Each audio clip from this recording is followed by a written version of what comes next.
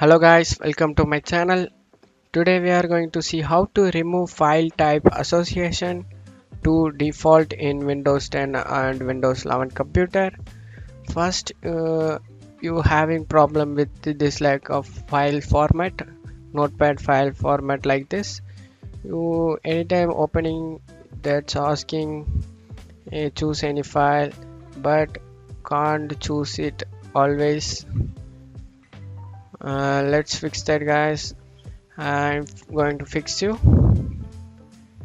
First thing go to search menu and type file explorer explorer option option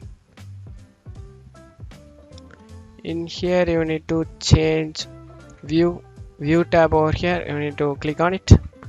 And you need to select search for hide extension for known file types.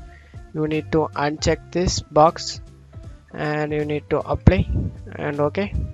After that if you having file format anything wrong document right click on it and you need to rename it guys. Uh, in rename like this dot after dot you need to type txt text document which I should change it click yes. And that's it guys. Now it easily can open. If that not opening like this uh, right click on it and go to open with and choose another app click on it. And notepad click on it and you need to click always that's it guys. I hope this tutorial definitely helpful guys. Thanks for watching my video